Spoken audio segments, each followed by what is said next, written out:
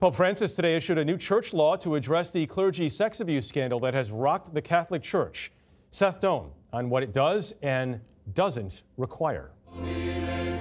Pope Francis's sweeping new law makes it mandatory for priests and nuns to report sexual abuse and its cover up.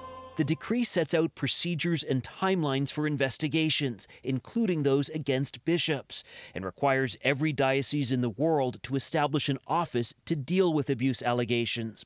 It mandates dioceses develop simple ways for victims to report, seeks to protect whistleblowers, and puts the onus on the Vatican to respond quickly. It is a very strong message that it, disclosure is the order of the day and not silence. The new law does not mandate reporting to police or prosecutors, though it does say local churches must adhere to the reporting laws in their countries.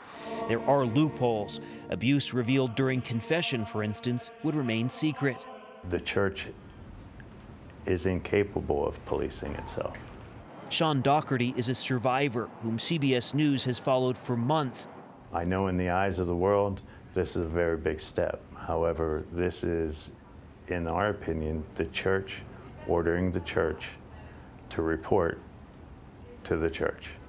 Pope Francis's decree will be used as a framework for U.S. bishops to establish their own measures when they meet next month. While welcoming the tightening of procedures, survivors have been critical that this does not mandate transparency to the public. It also does not address penalties, Jeff, such as the defrocking of convicted priests. All right, Seth Doane, thank you.